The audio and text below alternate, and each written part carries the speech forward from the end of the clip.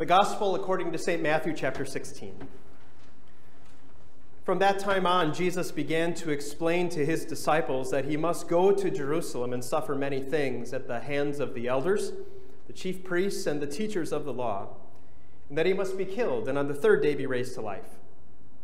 Peter took him aside and began to rebuke him. Never, Lord, he said, this shall never happen to you. Jesus turned and said to Peter, Get behind me, Satan. You are a stumbling block to me. You do not have in mind the concerns of God, but merely human concerns. Then Jesus said to his disciples, Whoever wants to be my disciple must deny themselves and take up their cross and follow me. For whoever wants to save their life will lose it, but whoever loses their life for me will find it. What good will it be for someone to gain the whole world and yet forfeit their soul? Or what can anyone give in exchange for their soul?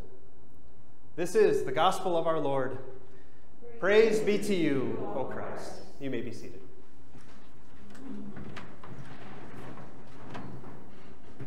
Grace and mercy and peace are yours from God our Father and from our Lord and Savior, Jesus Christ. Amen. How quickly things change. Last week, we heard Peter's confession. Right? Jesus asked his disciples, Who do you say I am? And Peter boldly said, The first one, You are the Messiah, the Son of the living God. And Jesus said, Yeah, you're right, Peter.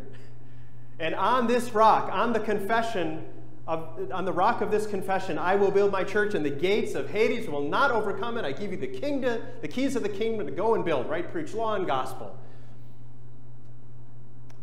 We ended at verse 20 of chapter 16 of Matthew last week. We pick up at verse 21. It's the same conversation. They're in the same spot. How quickly things change. From Peter, whose name means rock, to giving this bold confession, which Jesus calls a rock on which he builds, Peter is now called, just moments later, the stumbling block. He's a stumbling block to Jesus.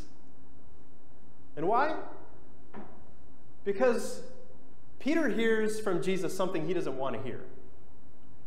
Jesus says that, you know what? I'm going to tell you guys why I came. I, I want it to be so clear why the Messiah, the Son of the living God, that Peter just confessed so boldly and, and accurately, why he came. He wasn't here to be this Messiah, this, this, this, this uh, Messiah to set up this earthly kingdom and restore power and glory here on earth to the kingdom of, of Israel.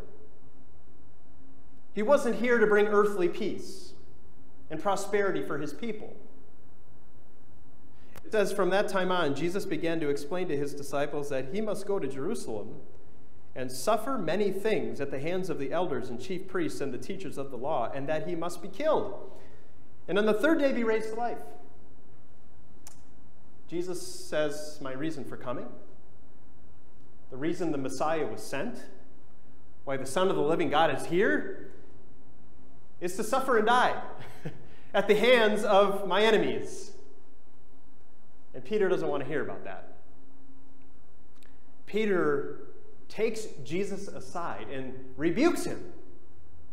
Right? You can almost picture Peter getting up in Jesus' face with a finger. And what are you talking about, Jesus? What is this death thing you're talking about in suffering? I will never let that happen, Jesus. That will not happen. Literally in the Greek, it says, Lord, have mercy on you, Jesus. May this never happen to you.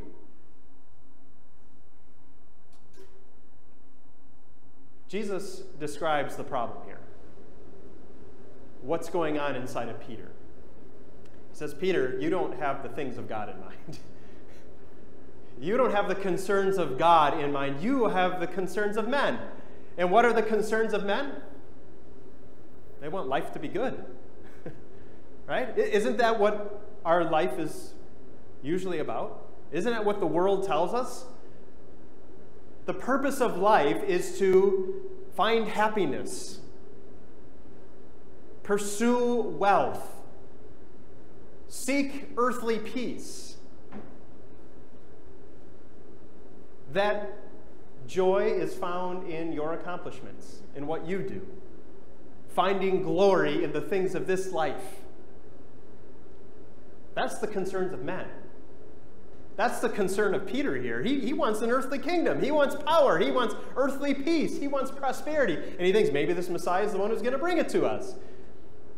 He doesn't have in mind the things of God because the things of God, Jesus says, are suffering death, pain and torture, difficulty and sadness. And so Jesus knows why he has come.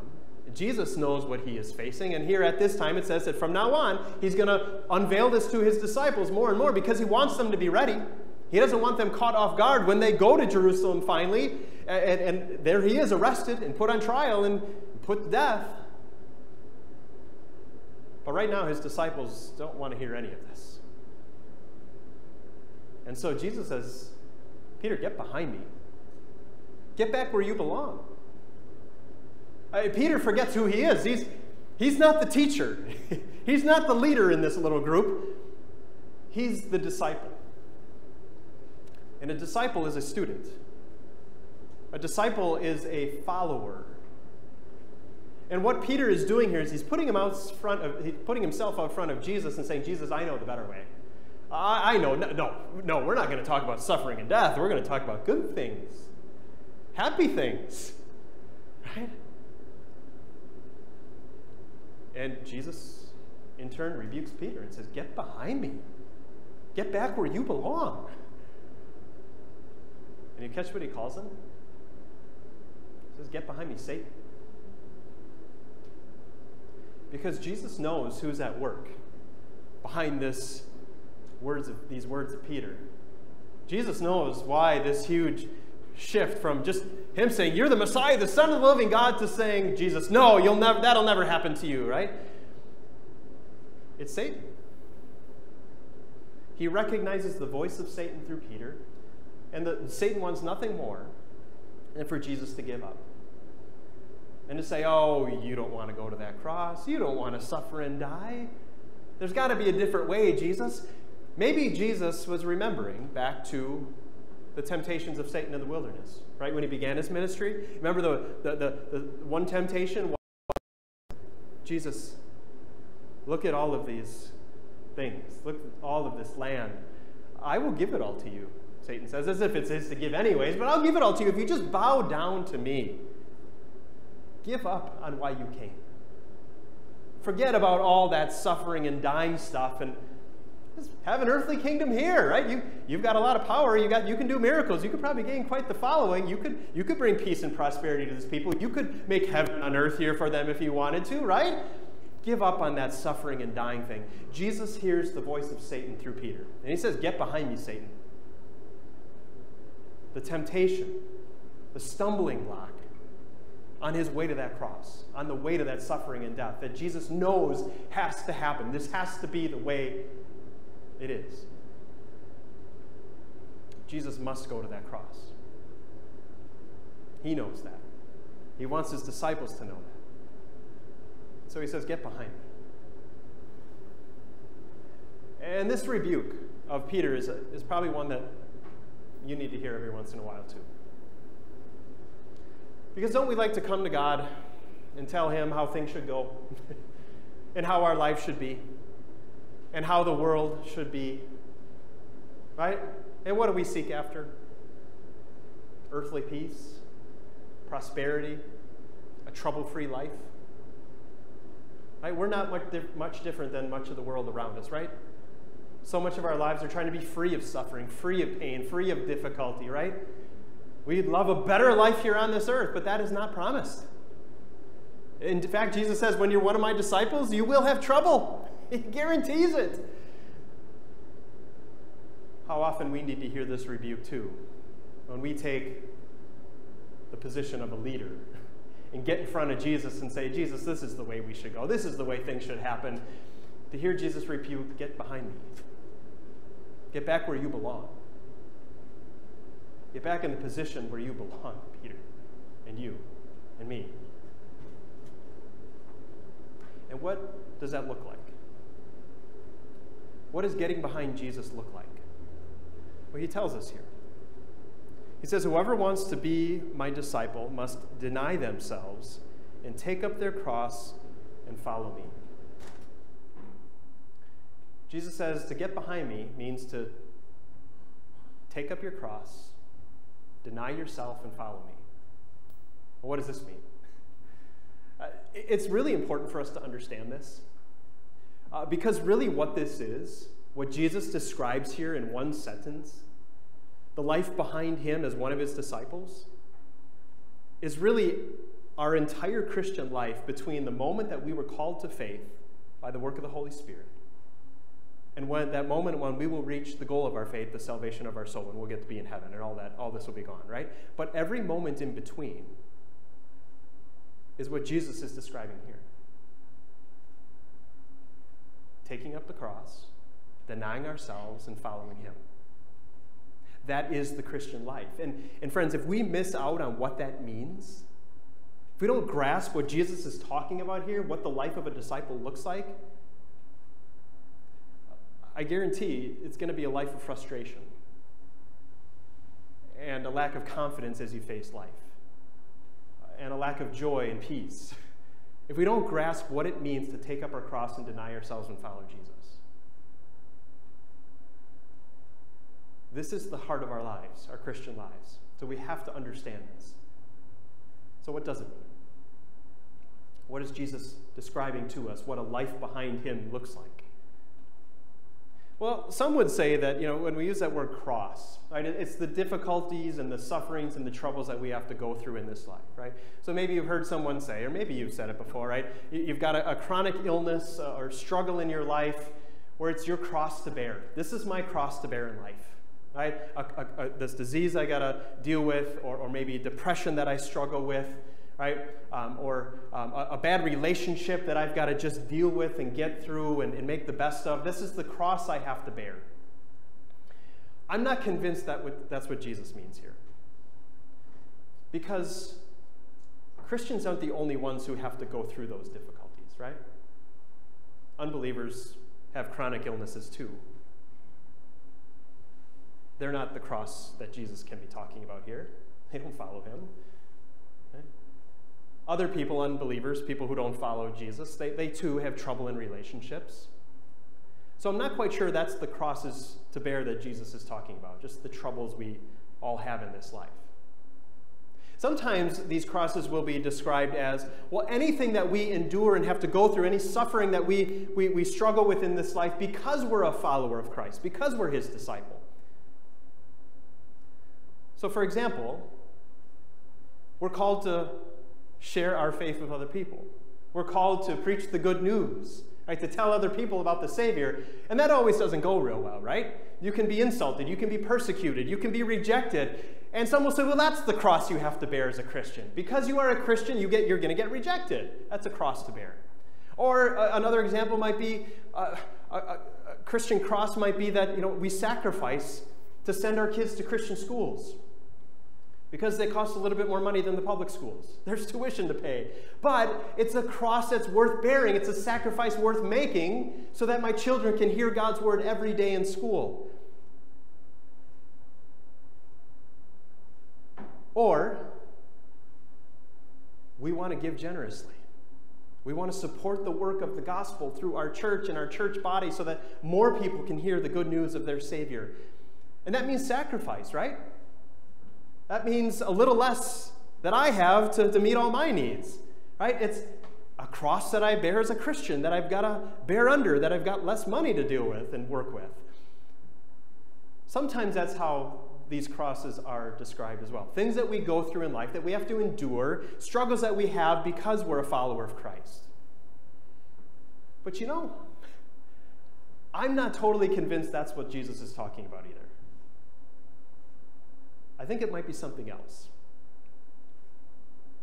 So, what is the cross that Jesus is talking about that we are called to take up? What are we talking about here that, that, that, uh, the, the cross that we have to deal with and, and deny ourselves and follow Him? What if it's not about us at all?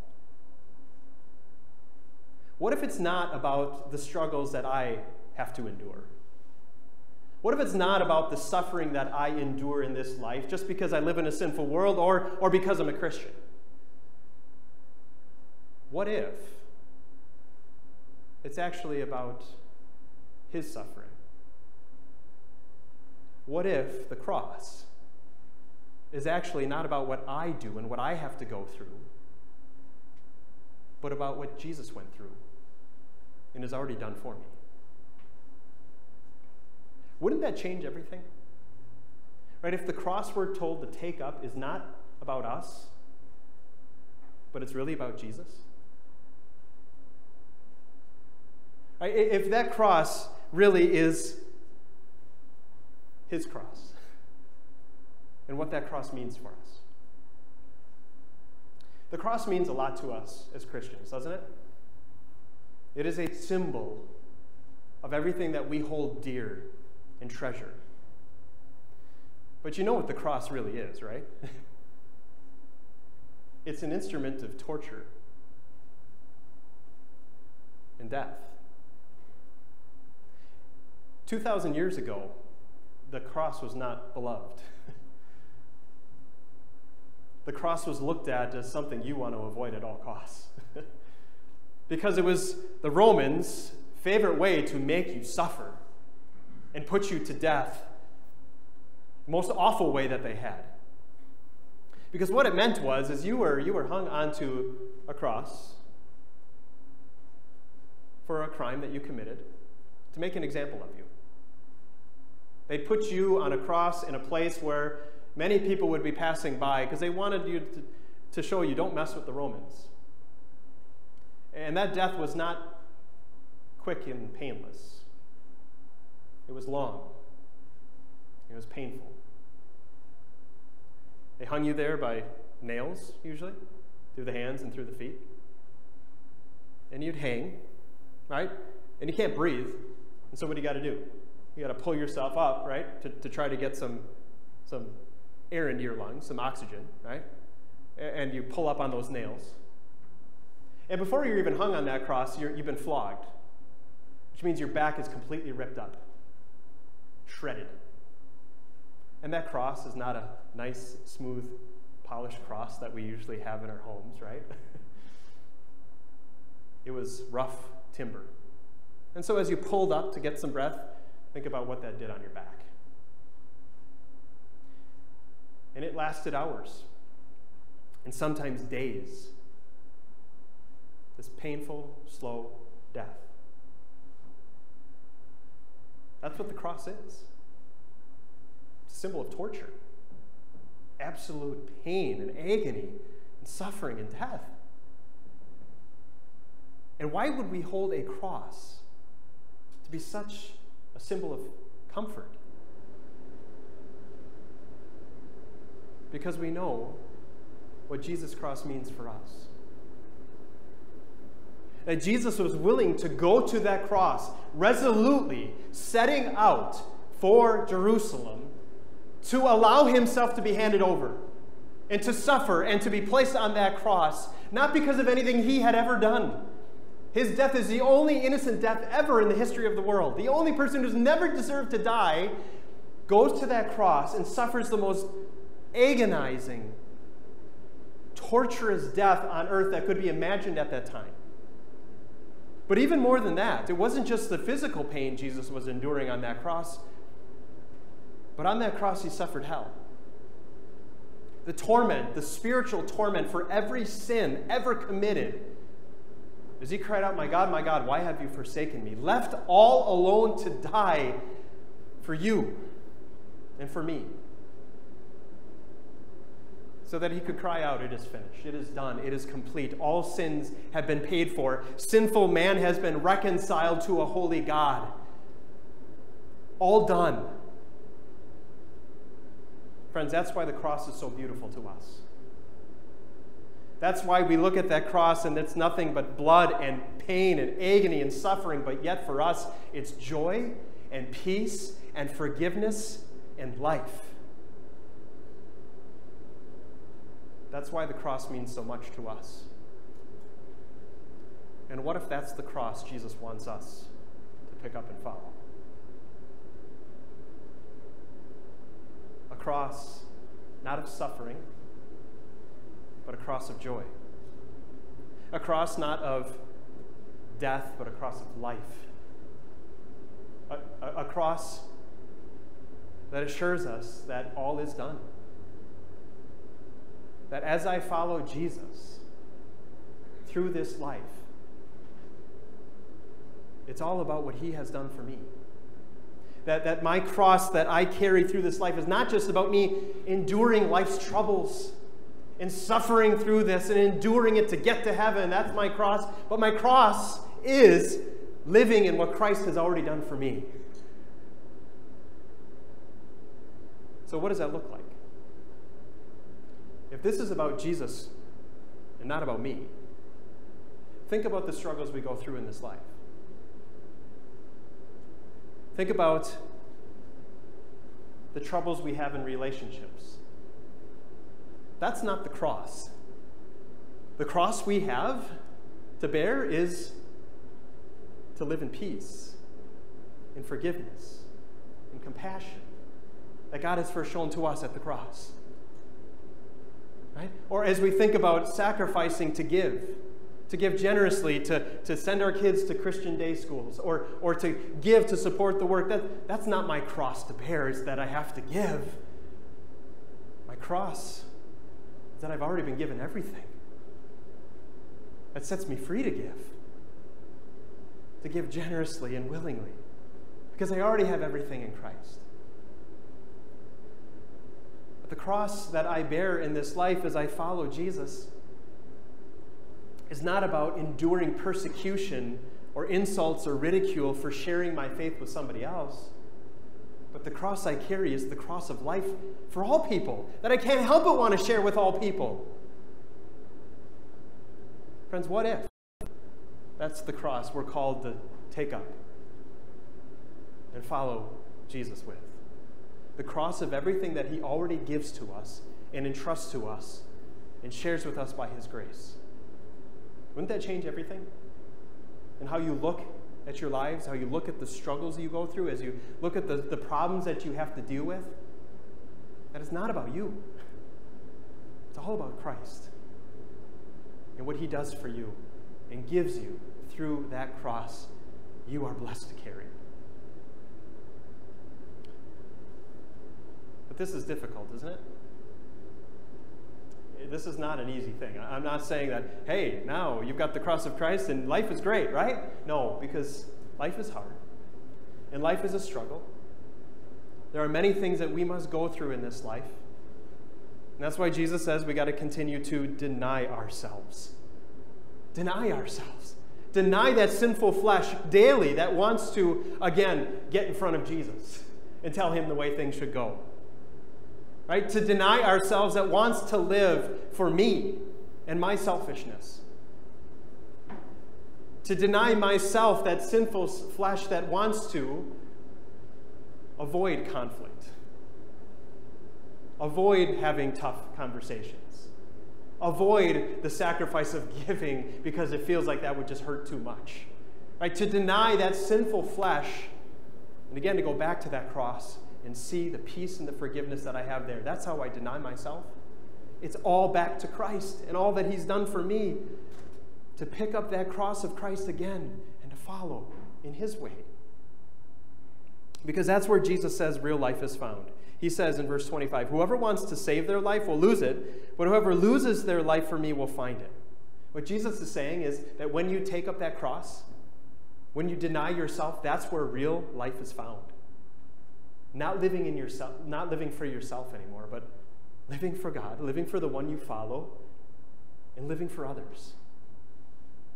That when life stops being about me and serving myself and only looking out for myself and my own uh, joy and my own happiness and my own peace and my own accomplishments and glory here on earth, when my life stops being about all those things, and instead, my peace and my joy are found in Jesus and in the glory that waits for me that He promises me through that cross, absolutely everything changes. That's where real life is found. a life set free of striving and working, a life lived in peace and in joy and in the accomplishments of Christ for me. To live this life in the knowledge that eternal life is mine. To take up that cross, deny myself, and follow him. Well, friends, this is hard. This is the Christian life, isn't it? Every moment between when you were called to faith through the gospel by the Holy Spirit to when you reach the goal of your faith, the salvation of your soul. Here's your life. in between, in the struggle, taking up that cross of Christ, denying yourself, following Him. And that's why what we have here is so important. We don't struggle alone. We don't have to struggle alone. Jesus doesn't want us to struggle alone. First and foremost, we look to Him. We fall on our knees in repentance, just like Jeremiah, for the times that we have complained, for the times that we have called out to God and said, Why am I suffering? Right? The things should be a different way. Right? Make my life better here on earth, God. Fix all my problems. Repent, just like Jeremiah, and rely again on the strength of the Lord. His promise is that He is with you, He is there. You carry that assurance of your salvation in that cross. And along with all of his promises, he gives us family. He gives us brothers and sisters. That, as Paul wrote in our lesson from Romans, in view of God's mercy, we get to encourage one another. We get to serve one another. We get to remind each other who we are. That we are blood bought souls of Christ, right? That we are heirs of eternal life, right? And until that comes, we're cross bearers we continue to remind each other to get behind Jesus, where you belong. We continue to encourage each other and spur one another on toward love and good deeds as, as Jesus calls us to. We get to continue to preach this word of God to one another as we continue to ask each other the questions and, and, pose the questions to each other that Jesus does at the end. He says, What good is it for someone to gain the whole world yet forfeit their soul? Or what can anyone gain in exchange for their soul? They're rhetorical questions. The answer is nothing, right? Why would I want to give up my eternal life and my forgiveness and my peace in Christ and this cross and everything that that means for the things of this life? For my own pursuit of happiness and, and peace in this life or accomplishments and wealth? Right? Why would I want to ever give that up? We get to continue, friends, to remind each other take up that cross find peace and forgiveness and joy and life in Jesus and what he has already done for you. Deny yourself. See that sinful flesh crucified at the cross, brought to life through that cross, the promise of an eternal life together waiting. Dear friends, let's struggle together. Let's go through this life and encourage each other to be cross bearers, to deny ourselves to rely on Jesus alone, to find our hope and our joy in Him alone. Let's struggle through life together. Let's encourage one another till we get to that place where we will get to be together forever. But until then, continue to focus on that cross. That instrument of death, but for us, that instrument of life and peace and forgiveness. Take up that cross and go and follow. God will grant that you the strength. Amen. Please stand.